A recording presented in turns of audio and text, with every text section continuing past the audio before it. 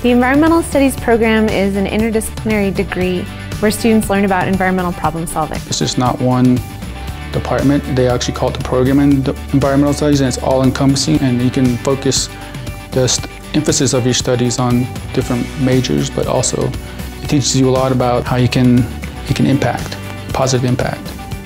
The environmental studies major gives you a template of which to form your own views on how to form environmental change as well as it gives you knowledge about what is actually happening in our current day.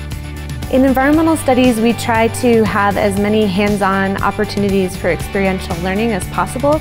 Many of our classes take field trips to places like water treatment facilities or farms.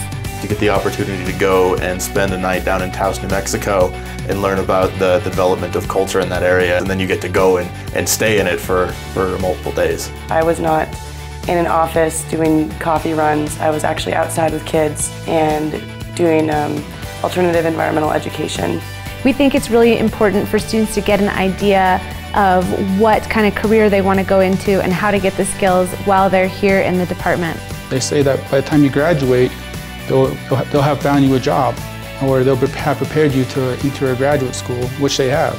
Employers are looking for environmental scholars with interdisciplinary backgrounds. And uh, the skills that our students acquire through the program, both with research methods and with GIS, those skills are very desirable by employers in environmental fields. One thing that sets environmental studies students apart from other students is their passion for what they do and their passion for the environment.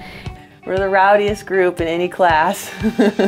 I think just at least my own experience, um, you know, I, most of my classes have been with the same like 20 to 30 people for the last four years. And so we all know each other really well. We go skiing together, we go mountain biking together.